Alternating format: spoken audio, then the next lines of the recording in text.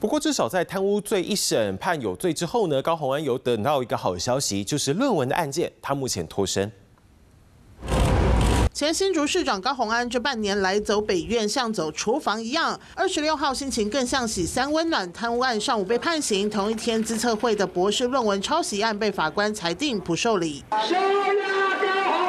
案件去年三月开庭，法院认定因为资策会自诉太晚提告，已经超过六个月的告诉期，一则以喜，一则以忧，贪污判刑被停职，被视为指标性判决。干嘛案件中，其代表是法院主任于侦查审判中一路坦诚判刑，可认大号态度良好，因而获得缓刑。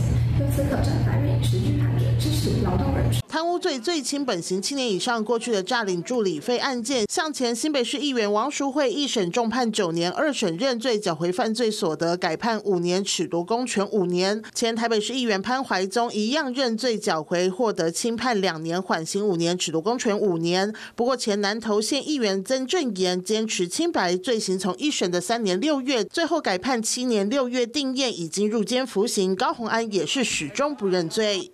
国民党中央委员会前考纪会主委叶庆元发文说，没必要帮高鸿安说话，和民众党也没有交情，批评北院判决偏离最高法院判决标准。福报助理费固然非法，但用在公务就欠缺不法意图，不构成贪污。高鸿安一审判刑，法界各有看法。华视新闻黄佩华、黄昭胜台北报道。Hello，我是李明瑞，想要抢先掌握最及时的新闻资讯吗？赶快订阅、按赞、开启小铃铛，锁定我们华视新闻的 YouTube 频道。